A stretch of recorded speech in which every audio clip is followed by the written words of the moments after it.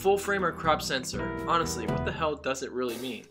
Okay, to understand, let's go back to when people used to photograph on film. A popular film used measured 35mm in width. This became the standard format for photography. And then came along the digital camera.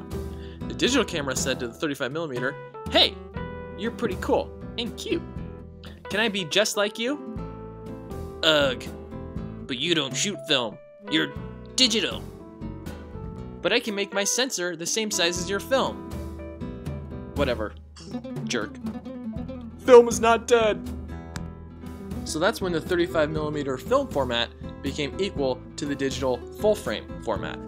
Then came along the crop sensor format, which was smaller, lighter, and cheaper.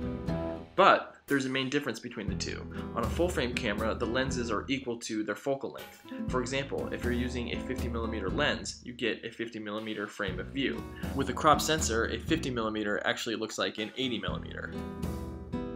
Among a few other reasons, pros usually choose a full frame, and enthusiasts go with a crop sensor. Both are great, just get out and have some fun.